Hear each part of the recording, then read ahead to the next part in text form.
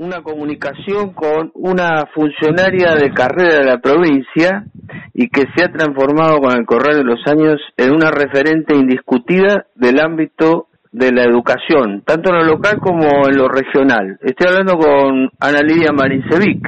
¿Cómo estás, Ana Lidia? Hola, ¿qué tal? ¿Cómo te va? Muchas gracias.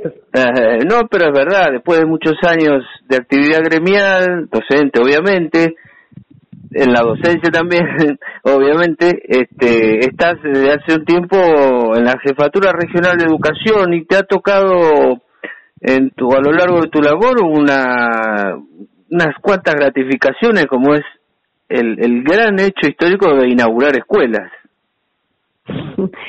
Sí, bueno, hace pocos días eh, tuvimos, como vos decís, esa situación de excepción, seguramente para muchos y muchas eh, docentes eh, ha sido toda una experiencia, particularmente para quienes integran la comunidad educativa del Jardín 908 de Quequén, eh, contar además en, en, ese día tan especial este, con la presencia del gobernador de la provincia de Buenos Aires, Axel Kisilov, que acompañó ese acto de inauguración, junto también al director general de Cultura y Educación, Alberto Sileoni, que ese día estuvieron presentes, porque bueno, no es una no es una situación este tan frecuente en los últimos años, ¿no? Eh, no solamente en el distrito, ha habido una inmensa inversión, fuimos el servicio educativo 112 inaugurado desde que, desde que comenzó la gestión el actual gobernador.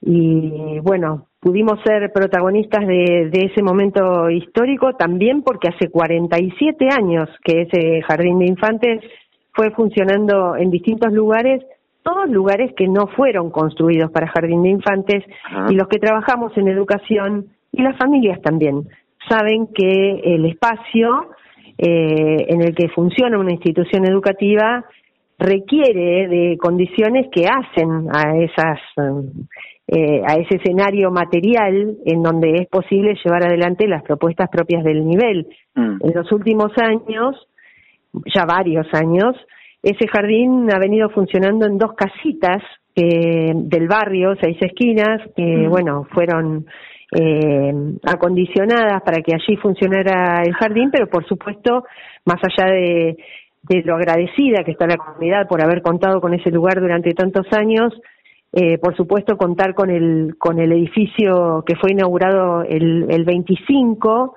eh, hace poquitos días nada más eh, es este, un paso adelante importantísimo para garantizar condiciones para llevar adelante la enseñanza eh, en el nivel inicial en ese, en ese barrio. Analia, hacemos un repaso rápido de mm, otras adecuaciones eh, en cuanto a instalaciones, refacciones, construcciones que se han llevado adelante en los últimos tiempos en el distrito. Sí, bueno, hemos llevado adelante en este tiempo y no únicamente, ¿no? En el distrito de Necochea, eh, en todo caso, tuvimos la oportunidad de ver también aquí eh, lo que ha implicado la inversión en infraestructura en estos años en toda la provincia de Buenos Aires, que fue dando respuesta a una deuda histórica de mantenimiento, de ampliación, de mejora de las condiciones de infraestructura en los servicios educativos de todos los niveles y modalidades. Hemos tenido intervenciones en el distrito de Necochea que dieron respuesta a deudas históricas también. Eh, a comienzos de este año, por ejemplo, una refacción muy grande en la Escuela Primaria 1, un edificio de muchos años de antigüedad, que había tenido arreglos que, bueno, eh, tuvieron sus falencias y que siguieron deteriorando, un arreglo importante en el techo, con canaletas muy pequeñas, para los techos de esa de ese edificio y que siguieron eh, deteriorando las condiciones al interior de la institución y eso representó un despliegue enorme en todo el edificio que requirió también de definiciones para sostener el inicio del ciclo lectivo, para darle continuidad a las obras. Hay que decir también que durante el año 2020 se llevaron adelante obras muy importantes. Recuerdo, por ejemplo, la primera en iniciarse que fue en el edificio de la Escuela especial 501 de Necochea y que se sostuvieron durante la pandemia, durante el momento en el cual no se contaba con vacunas y esto sucedía en toda la provincia de Buenos Aires. Hay arreglos que tienen que ver con los sistemas eléctricos, con eh, los sistemas de calefacción, con las instalaciones de gas, este, con ampliaciones y también con refacciones que fueron necesarias eh, ante situaciones que se vivieron, por ejemplo, lo que sucedió con la Escuela Agropecuaria de Ramón Santamarina a comienzos de este año, que, bueno, mereció también eh, una, una gestión eh, a través de los responsables de la Dirección Provincial de Infraestructura Escolar, elaborando un proyecto que le diera respuesta a, bueno, a todo eh, lo que había implicado, ¿no? La, eh, los problemas que enfrentaba, nuevos, que enfrentaba el edificio a partir del incendio y que esta tarde, por ejemplo, volvemos a reunirnos con los responsables, el regional, Antonio Lustiza, y los distritales, Salomón y Horaciano, para seguir trabajando en otras obras muy necesarias, como es el aula taller de técnica 1, una ampliación del proyecto de refacción en la escuela agropecuaria y otras cuestiones que tienen que ver con eh, proyectos de, construcción, porque este, esta inauguración eh, de la que hemos sido protagonistas en los últimos días no es la única que esperamos llevar adelante en lo que resta de la gestión. Hay trabajos muy avanzados en relación a la construcción de edificios en la región y también en el distrito de Necochea. Tenemos eh, un proyecto eh, con un grado de avance muy importante en relación a la construcción del Jardín de Infantes 921, que está ubicado en la Villa Marítima Zavala, que hasta el momento... En la Escuela 47. Exacto. Compartía, comparte todavía hoy, edificio con la primaria 47, como vos decís, y también con la extensión de la secundaria 2, otra eh, noticia que fue muy importante para el distrito porque es el acercamiento, ¿no? La, la, generación de condiciones para que los chicos y chicas que tienen domicilio en, en la zona de la Villa Marítima Zavala tuvieran también una propuesta de nivel secundario que les evitara tener que recorrer kilómetros para llegar a la escuela secundaria más cercana.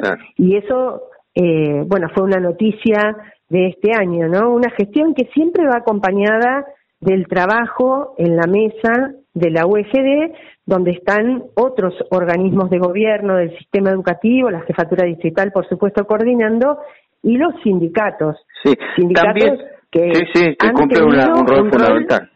Exacto, muy importante y que eso tiene que ver también con mi presencia en la jefatura. No digo que yo lo provoque, digo que es eh, es parte de, de un posicionamiento por parte del gobierno provincial que le ha devuelto a las organizaciones de trabajadores y trabajadoras el lugar que siempre debieron tener, ¿no? Una participación y una voz absolutamente eh, conocedora en profundidad de, la situación de cada institución educativa. Eh, también te quería eh, consultar, porque algo que ha pasado y, es el cambio de modalidad de muchos servicios educativos, así como la creación de, de nuevos de nuevas escuelas, las jornadas completas, la orquesta infantil, ¿verdad? Eso me, me dio mucha alegría, ese tipo de iniciativas.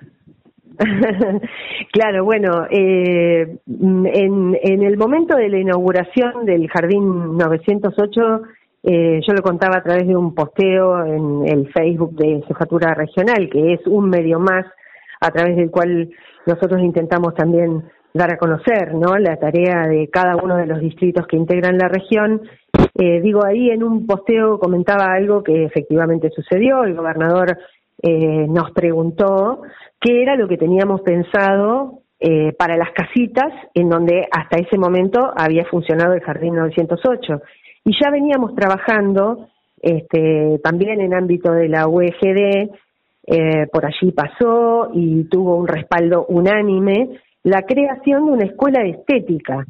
Una escuela de estética que es una propuesta propia, mm, digamos, un servicio educativo que depende de la Dirección Provincial de Educación Artística y que eh, contempla ahí la posibilidad de eh, asistir para, bueno, para recibir clases de los lenguajes de la educación artística a alumnos y alumnas de cinco años hasta la finalización del nivel primario. Ahí, bueno, como en el barrio, la escuela primaria eh, funciona únicamente en el turno tarde. Eh, habíamos propuesto la creación de la escuela de artística, de escuela estética, perdón, en el turno mañana, funcionando en esas casitas. Y al mismo tiempo, también en, en otro turno, en el turno tarde, en el vespertino, eh, aprovechamos también la visita de la Dirección Provincial de Políticas Socioeducativas para gestionar la llegada de un programa que tiene existencia en muchos lugares de la provincia de Buenos Aires, pero que no estaba presente en la región 20, que es el programa de coros y orquestas, empezando por la conformación de coros, y de hecho el día 18 de noviembre, en esta semana termina el plazo para la inscripción, el día 18 de noviembre se va a estar llevando adelante con autoridades provinciales la prueba para eh, profesores y profesoras interesados, interesadas en eh, conducir ese programa eh, en Necochea con sede en las casitas del barrio Seis Esquinas. ¿Hay inscriptos para eso? Hay inscriptos, sí, y continuamos trabajando porque tenemos tiempo hasta el día 12 para, para en fecha en la que se cierra la inscripción. Este, ahí hace falta coordinador y hace, o, coordinadora, ya veremos, este, y también profesores y profesoras para llevar adelante las clases que tienen que ver con la conformación de coros. Un eh, coro juvenil que está pensado particularmente, digamos, eh, destinado a alumnos y alumnas de nivel secundario, no únicamente los del pero nosotros creemos que, eh, bueno, una propuesta de esas características con sede en el barrio Seis Esquinas, seguramente va mm, a acercar a otros chicos y chicas interesados en, en, ser parte ¿no? de un coro juvenil de otros barrios de, de Quequén y tal vez también de Necochea. Eh, es interesante ya que Necochea es conocida quizás en otros lugares también como productora de, de músicos, de exportadora de músicos y músicas. Este y pero salían mayormente por ahí del ámbito privado de iniciativas de, excelentes conservatorios y, profesores que existen en el distrito pero del ámbito este, estatal y más en un ámbito eh, donde se necesita como es en esa zona de Quequén me parece algo bastante positivo para la comunidad eh, te quería otra cosita que ha marcado siempre, eh, eh, ha, partido en dos la cuestión de lo que tiene que ver con la alfabetización digital. El programa Conectar Igualdad. ¿Qué novedades está viendo? Bueno, ayer eh, participamos de la entrega de netbooks en dos escuelas secundarias de Balcarce, pero en realidad en la región 20, Necochea y Criquen también, son en esta etapa eh, fuertes protagonistas, porque de las 916 máquinas que estamos entregando en el marco del Programa Nacional Conectar Igualdad por estos días en la región 20, más de 700, casi 800 son para escuelas de Necochea y de Quequén. Hoy eh, comenzaron en la mañana la entrega en secundaria 7, eh, luego secundaria 9, en la tarde será el turno de secundaria 20, de secundaria 3, y en los próximos días otras muchas escuelas de Necochea y de Quequén van a estar eh, recibiendo estas máquinas que para las escuelas urbanas, eh, bueno, tienen como destinatarios y destinatarias alumnos y alumnas de primer año secundaria. Pero también hay que decir que en las escuelas rurales, como las de Balcarce, donde entregamos ayer, escuelas más pequeñitas, la entrega de las máquinas eh, se extiende hasta el tercer año, es decir, reciben alumnos y alumnas de primero, segundo y tercer año. Eso pasa de secundaria. secundarias rurales. Sí, Bien. Rurales. Y esas entregas van acompañadas de capacitación para equipos directivos y docentes, para que efectivamente esa herramienta sea contemplada a la hora de planificar propuestas eh, educativas en adelante. ¿no? Que se usen y no queden archivadas. Exactamente. Eh, eh, repetimos, ¿cuántas computadoras, cuántas netbooks llegan a Necochea? A Necochea son 778. Ajá. Y que en esta semana se están distribuyendo. muy bien. En esta semana y el día lunes también tenemos entregas eh, en Necochea y en Quequén. ¿Son de nación?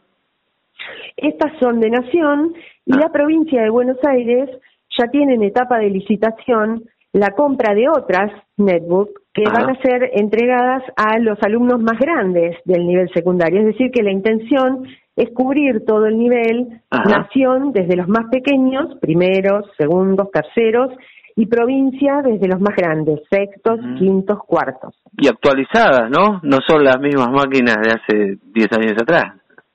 No, no son las mismas máquinas y la verdad es que el proceso de entrega también está mm, eh, de alguna manera facilitado, porque antes el trabajo de vinculación de cada eh, dispositivo con un alumno o alumna con sus datos se hacía en cada escuela al momento de la distribución y ahora ya viene hecho. Llegan en una caja con todos sus eh, complementos, por supuesto, eh, y con el nombre y apellido del alumno o alumna que es destinatario de, bueno, de esta herramienta eh, que nosotros entendemos fundamental. Histórica, porque ha traído, este, ha generado, ha, formado chicos maravillosos a partir de, de, avanzar en, su alfabetización digital. Ana Lidia, pasamos a la parte gremial, si te parece. Estás sí, ¿cómo no? en la lista de la CTA al, al frente de la lista número 10, ¿es así? Sí, es así. Tenemos elecciones en todo el país, en realidad. La CTA de los trabajadores y trabajadoras tiene elecciones. Eh, nosotros elegimos de manera directa eh, a nuestras conducciones a nivel nacional, provincial y en nuestro caso la regional Necochea, Lobería, San Cayetano, que me toca encabezar como candidata a secretaria general eh, por la lista 10. En ¿Cuándo fue la anterior elección?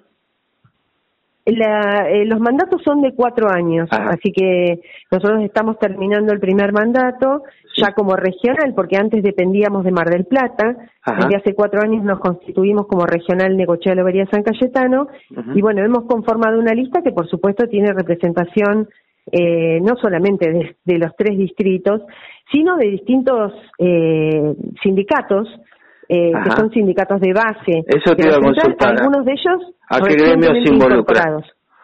¿Cómo, cómo? Bueno, eh, somos parte, eh, el SUTEBA, por supuesto, es parte de, de, la CTA de los trabajadores y trabajadoras, el sindicato de maestranza eh, de casino, AMS, eh, el sindicato de ADUNCE, eh, de universitarios, eh, recientemente se han incorporado la AJB, eh, judiciales, y SICOP, profesionales de la salud, que hasta mm, el año pasado eran parte de la CTA autónoma y por definiciones del Congreso han decidido su incorporación a la CTA de los trabajadores y trabajadoras.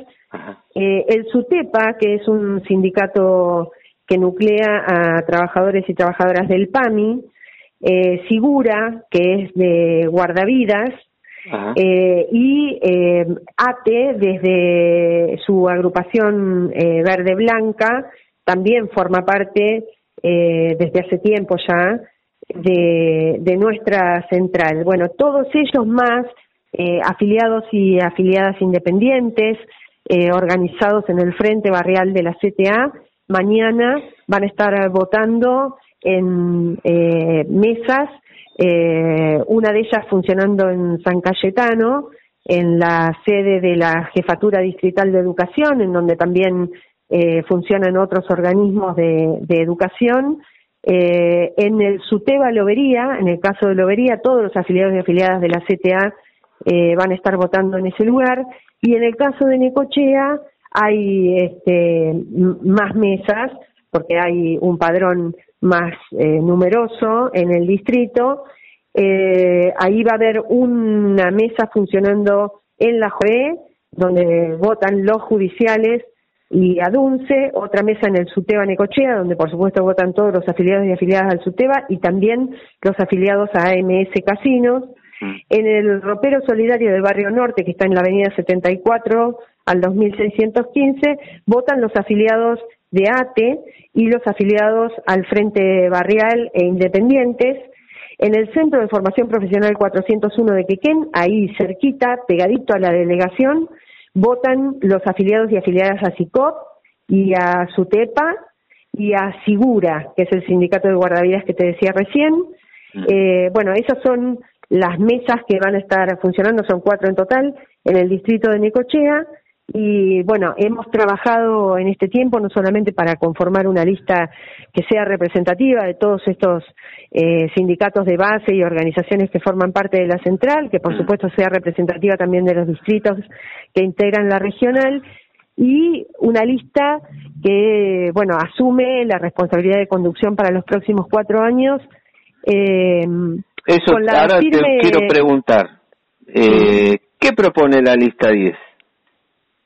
Bueno, nosotros tenemos como objetivo en, en la regional, eh, por supuesto, no ser únicamente eh, eh, quienes seamos responsables de replicar las posiciones y las acciones convocadas desde la CTA nacional o desde la CTA provincial, sino que además seamos capaces también de, de construir un diagnóstico de situación que tenga que ver con problemas que afectan a, los trabajadores y trabajadoras del distrito, a ver también las eh, oportunidades y a ser eh, propositivos, a darle curso a esas propuestas a través eh, del Consejo Deliberante de cada uno de los distritos o del Ministerio de Trabajo, por supuesto, cuando corresponda de, hacer conocer esas situaciones y, y, bueno, y gestionar eh, respuestas a, los problemas a partir de los organismos de, gobierno y legislativos de cada uno de los distritos. Hacemos una, convocatoria a los afiliados, entonces, la elección es el día es el día de mañana de 8 a 18 en las mesas que te comentaba y hay que presentarse con DNI para poder eh, participar de, la elección. Bueno, está hecha la convocatoria. Si te queda algo para agregar, ¿cómo no? Bueno, en todo caso, eh, me, gustaría señalar este, esta conjunción, ¿no? Eh, yo soy una convencida de que mm, los trabajadores y trabajadoras eh, necesitamos estar fuertemente organizados, eh, hacer conocer nuestras propuestas también de solución a los problemas que afectan eh, no únicamente a un sector del trabajo este, que forma parte de la central, sino a los trabajadores y trabajadoras en general y para eso hace falta trabajar fuertemente vinculados con otras organizaciones como la CGT, como los movimientos sociales en cada una en cada uno de los distritos, algo que hemos hecho fundamentalmente eh, durante los años de gobierno de Macri y Vidal, ¿no? Mm. Con acciones, con presencia eh, en los distritos, eh, desnaturalizando las injusticias, este, asumiendo también el compromiso con comunidades de distintos sectores de la ciudad que se ven afectadas por problemas, por ejemplo, por la calidad del agua o eh, por las fumigaciones de los sectores periurbanos que quedan mm. muy cercanos a las áreas de producción. Bueno, sobre todos estos temas nos comprometemos a, seguir trabajando y para eso hace falta eh, también eh, contar con el acompañamiento de muchos compañeros y compañeras que mañana entre las 8 y las 18 horas se acerquen a votar. Ana Maricevic, eh, muchos éxitos y gracias por la comunicación. Estamos en contacto. Bueno, muchas gracias a vos. Adiós.